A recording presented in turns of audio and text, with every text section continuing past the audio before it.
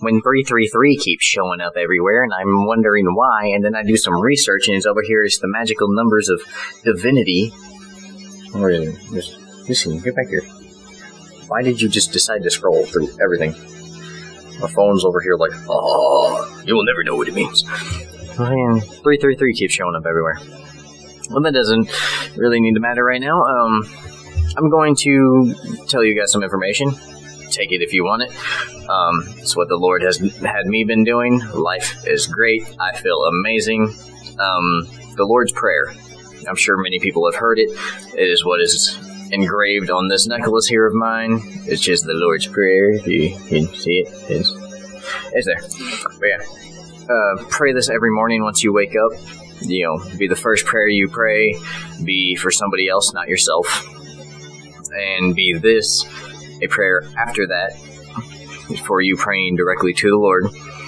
And I'm going to tell you what the Lord's Prayer is now. You know, but when you pray, do not pray in vain repetitions because, you know, we don't want to say the same thing over and over again. Just saying it over and over again isn't going to get the point across. We don't just keep praying it over and over again. He hears our prayers. Now, it is in the scripture. Right now I'm in St. Matthew uh, chapter 6. Let's see, where is it? Verses 9 through 13. Chapter 6, verse 9 through 13. That is the Lord's Prayer of St. Matthew. Now, I've obviously already read through this, but I'm going to read it as it says it in St. Matthew. Of course, it says it just a little bit different in a lot of different places that you can go and find the Lord's Prayer.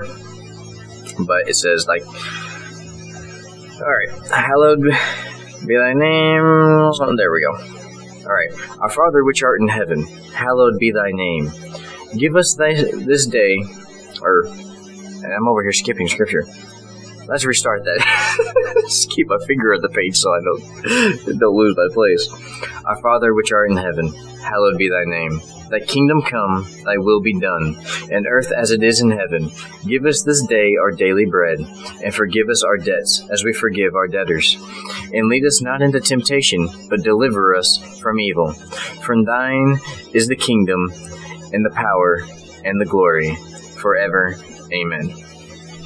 That's the Lord's Prayer the Lord deserves all. Like he gets all the glory, all the praise, all the honor, all the power. It's all his. He he, he has it all. It's all his. Now that's pretty much what this video is. I just wanted to give you the Lord's prayer. Um, I don't really know if there's any much more that I need to do. Uh, if anybody ever has any prayer requests, uh, just stick them in the comments and either some of our prayer warriors will get to them, and I will always see the comments uh, on YouTube. They're all held for review because I don't want anybody doing nothing hateful. Uh, but all the good ones will be posted. So God bless you all. If you have any prayer requests, put them down in the comments, and we will pray for you. Uh, and those of you who don't believe in prayers, how are we going to help you? If you don't believe prayer actually works, then you have quite a journey to go through.